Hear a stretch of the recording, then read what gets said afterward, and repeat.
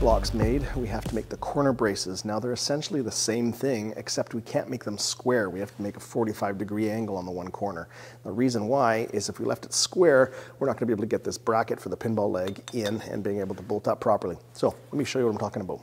So when you go to install your pinball legs, you're gonna have this bracket on the inside and it's going to get screwed with six screws to the inside of the cabinet. Now, this area here is where we have to make that brace so that we can have some glue strength to keep this corner nice and strong. But you can see if we leave this square, it's not going to fit in there. So the one corner has to have a 45 degree angle. Now, in order to get this to fit and have kind of the maximum amount of glue space, you're going to want these edges here to be one and one eighth inch and no bigger. They could be a touch smaller than that, but um, if you make them too small, then you're losing some glue strength. First step is to figure out how long you want these corner braces to be. So on the front panel, you got to remember that I have an inch spacing underneath the cab to the bottom, and then the thickness of the plywood is three quarter. So really, up to an inch and three quarters is where this is going to start for the brace. And then I don't want it to go past and start interfering with these buttons at all. So for me, I'm going to stop at six inches, and I would highly recommend you don't go less than six inches. That way you get the most strength you can. So I need two of those. And then on the back cabinet, I don't have any buttons to worry about, but I still have the um, inch gap plus the three quarter inch plywood for the bottom of the cabinet.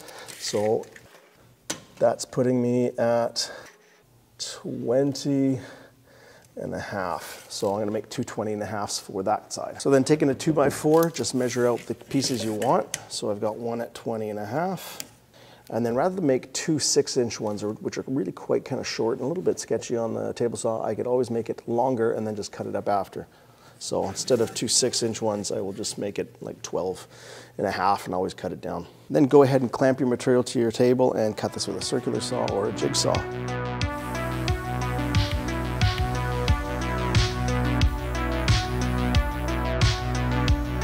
your table saw, you're gonna wanna extend the saw blade up out of the top, probably about two inches. So in this saw, it's this one here. You kind of have to push it until it locks and then clockwise is to go up. And then we're gonna want to tilt this at 45 degrees. So in this saw's case, it's a clamp right here.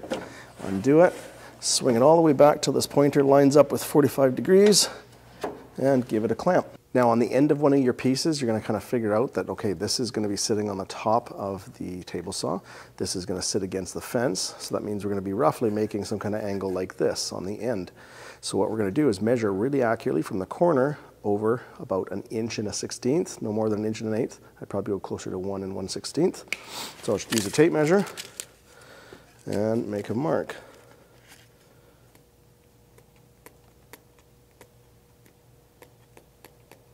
There we go. Now this is the mark we're going to line up with our angled saw blade on the edge that it's going to leave and uh, then we'll take a cut and see what that looks like. Then take your material and stick it against the fence, unlock the fence and start moving it over. And what you're going to do is you're going to move the fence over so that the edge of this tooth on this side is cutting through that line there. So that looks about right like that. If I kind of eyeball it in line with the saw blade. So I'm to lock that down and then we'll give this a Then I'm going to explain what I'm doing here so that you understand what's up before I start and you can't hear me. So what I'm going to do is I'm going to put the material against the fence, start the cut until the blade has kind of come up through the top, and then if I go back like this, there's a chance of kickback where the blade kind of kicks it back at me, so don't be standing right behind it. Uh, another safer thing is get it to cut up to the edge, hold it in place, and then reach down with your other hand or even your knee and shut the machine down, let it come to a stop, and then you can remove it. And where the cut is, we can measure and see if that's what we like. If we like it, great, turn it back on, push it through. If it's off a bit, we can adjust it before we cut through our entire piece.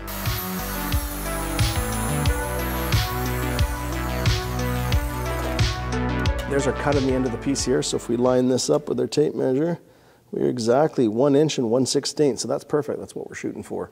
So we can run all our pieces through. Now, if yours is a bit off, it's really simple. If this is too small, then that means you need to put the fence a little bit closer to the blade so that more of this is sticking out and it'll be bigger.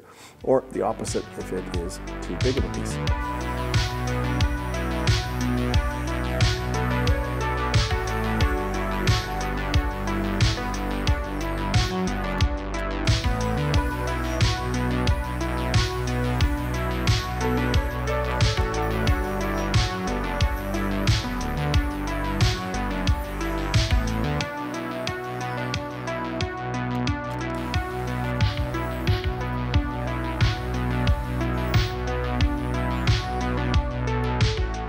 So if we put the pinball leg brackets in right into the corner where they're gonna sit, and we take our corner brace, look at that, that fits perfect.